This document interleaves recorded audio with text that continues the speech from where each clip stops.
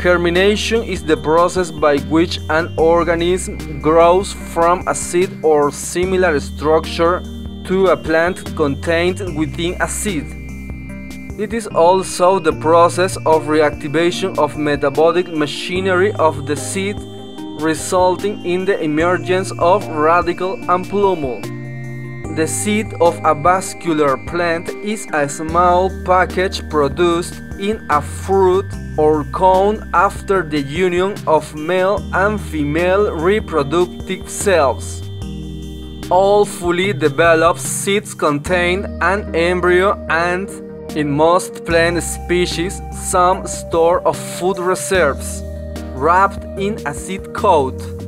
Under proper conditions, the seed begins to germinate and the embryo resumes growth, developing into a seedling.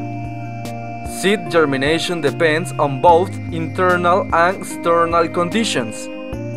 The most important external factors include right temperature, water, oxygen or air, and sometimes light or darkness. Water is required for germination. Mature seeds are often extremely dry and need to take in significant amounts of water relative to the dry weight of the seed before cellular metabolism and growth can resume. Most seeds need enough water to moisten the seeds, but not enough to soak them.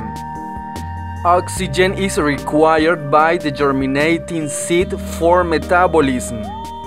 Oxygen is used in aerobic respiration, the main source of the seedling's energy until it grows leaves. Oxygen is an atmospheric gas that is found in soil pore spaces. If a seed is buried too deeply within the soil or the soil is waterlogged, the seed can be oxygen starved. Temperature affects cellular, metabolic, and growth rates.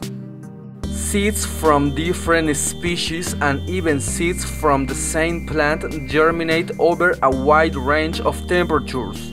Seeds often have a temperature range within which they will germinate, and they will not do so above or below this range. Light or darkness can be an environmental trigger for germination and is a type of physiological dormancy. Most seeds are not affected by light or darkness, but many seeds, including species found in forest settings, will not germinate until an opening in the canopy allows sufficient light for the growth of the seedling.